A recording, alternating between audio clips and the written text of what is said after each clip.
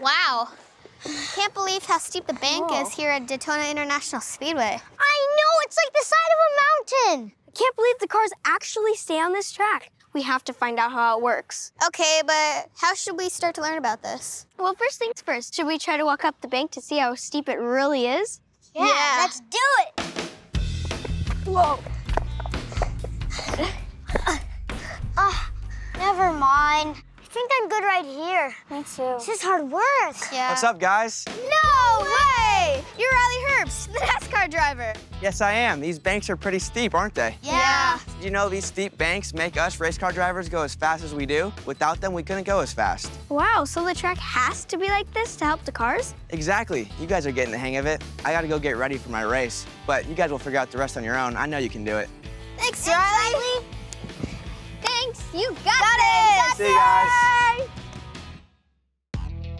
Hey, everyone. I'm Max. I'm Victoria. And I'm Jonas. And today we're at the world famous Daytona International Speedway in Daytona Beach. This track is so big and has so many cool places to visit. But, as you know, today we're looking at one of the most coolest aspects of the entire raceway. These insane banks, they're so steep we can hardly walk up them. So Riley Herbst helped us get started, but we still haven't found out all the details. Why is this track so steep on the turns? I think I have an idea, and I think I can explain it with the help of our good friend, Lightning McQueen. Oh, oh yeah. Hey guys, let's do some science. Yeah! The track at Daytona is pretty much like a normal road when you're along the straightaway, but when you get to the turns, it gets really interesting. As the track starts to curve, it gets more and more steep off the ground. Most professional racetracks have big banks on the turns so that the race cars don't have to slow down as they change direction. Why would they have to slow down? Okay, well, remember in the first Cars movie when Lightning is training with Doc Hudson? Oh, yeah. when he fell in the cactus patch, that was funny.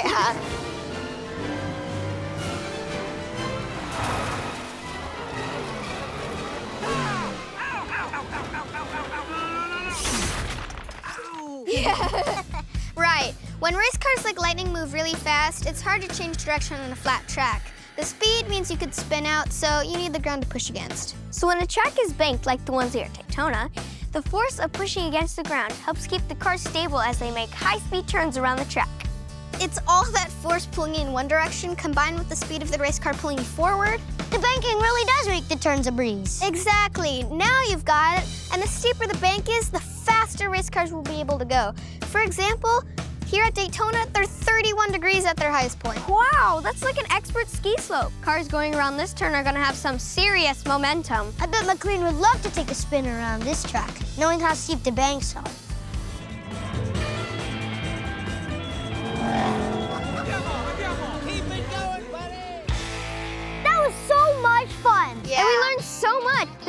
Lot of science that goes into racing. Can you imagine Lightning McQueen on one of those turns? He would smoke the competition. And thanks to Riley Herbst for helping us out. Yeah. Anyway, thanks for joining us here in Daytona International Speedway. See you next time. Bye! Hey, Riley, do you mind signing this for us? Absolutely. Ooh. Thank you. See you guys.